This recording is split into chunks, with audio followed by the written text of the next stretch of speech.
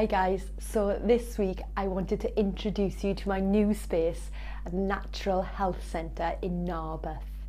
Now, if you're not local to West Wales, I also take on clients from all over the world and we meet on Facebook Messenger, WhatsApp, FaceTime or Skype. But in an essence, we meet in, in this beautiful space together.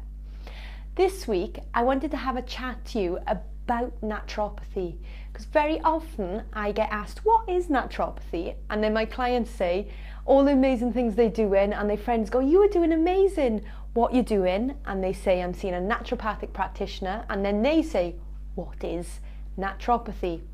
So let's just take some time and have a bit of a chat about what is naturopathy. So the allopathic world is where most people are aware of. That is your normal medicine. I don't like to use the word normal, but that is what normal medicine is. It's Western medicine, allopathic medicine. And then over here you get naturopathic medicine.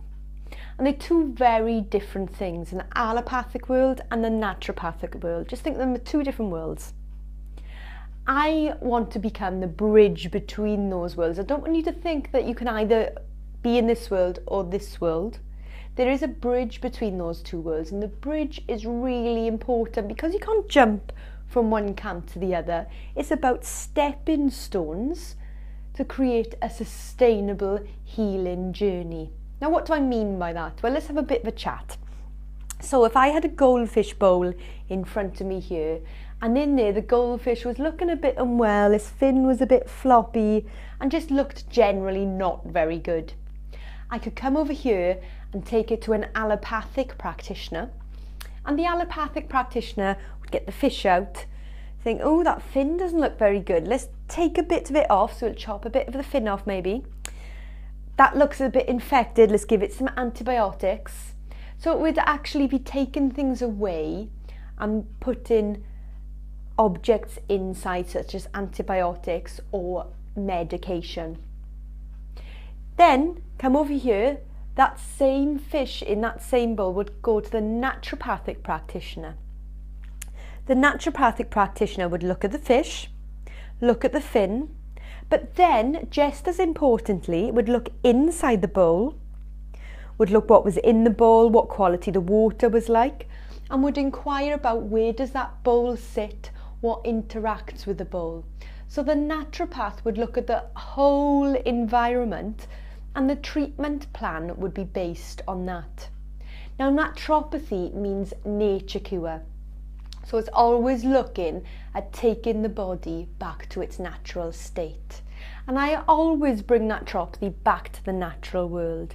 For me, our internal nature is a result of our external nature. So what do I mean by that? What's going on inside is what we tend to look at what's going on outside. Because two different people can be in exactly the same environment but look at them very differently depending on the state that they are in.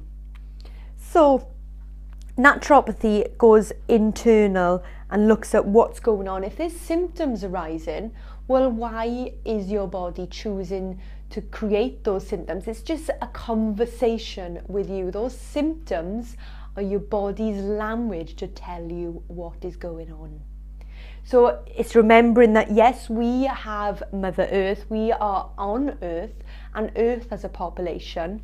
And like the Earth, we are also our own Earth, and inside of us, we have our own population. We have around 75 trillion cells inside of us. Some books say 50, some books say 100. Who's counted? I don't know. But just can you even imagine that that number 75 trillion cells and our cells are our internal population?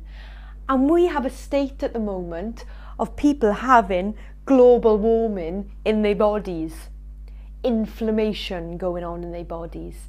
And that is because their population isn't happy their cells aren't happy.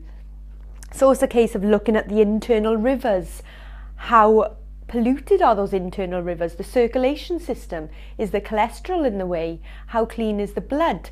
What's the pH balance in the body? What's the pH balance of your internal soil? So as I said, it's looking at your body as a whole terrain, not just isolating it. In the allopathic world, you might go to a gastroenterologist, then you might go to an endocrinologist, and so on and so on. Uh, very rarely do you see a doctor that encompasses the whole body. Now, a naturopath looks at the body as one system as one being, but then also hones in at cellular level. What is going on at cellular level? And then a naturopathic treatment plan, there's loads of different things that encompasses that. So I always start with hydration because everything starts with hydration. But just as importantly, looking at the electrolyte balance. So by hydration, don't just mean water.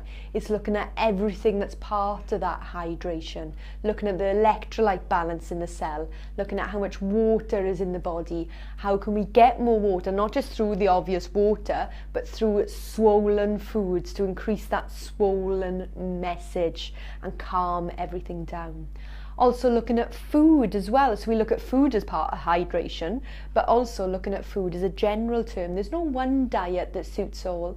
Diets always do with their trends. The plant-based is really popular at the moment. Veganism is really popular. You may think of those as the same thing. Keto is really popular, but whatever diet you do, it's just a label. And there's a way of doing a healthy and a very unhealthy version of that same label, the same diet. So it's looking at, okay, at this moment in time, what environment is your internal world and what environment is your external world and what's sustainable for you and what diet would make you thrive. And you might like to look at the word diet as lifestyle because it's not just a diet short term, it's looking at how can I get your lifestyle to be as thriving, as vibrant as possible. And then looking at purposeful supplementation. And that key word there is purposeful because let's be fair, I don't want to be giving you a very expensive bowel movement and just moving through the body and coming out in urine or in your poo and that just being complete waste of money and your body not absorbing it. So it's all about that word purposeful supplementation.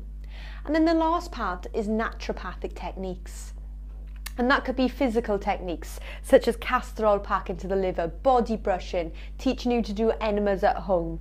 It could be looking at conscious and unconscious thoughts, looking at conscious unconscious writing to get out what you need to get out. It could be ways of expressing emotion. It could be meditation. So there's a whole host of things that come under naturopathic techniques. But it's all about bringing your body back to that natural state because your cells are programmed for longevity. And by that, I mean they programmed to survive and they will do anything to survive. And if you put them in an environment that's unnatural, and let's be fair, the majority of us these days put ourselves in an unnatural environment. They have no choice than to put systems in place to try and survive. And it's those systems that sometimes create symptoms in us that we don't like. And what we sometimes do is go to the allopathic world, slap a plaster onto it by taking the medication.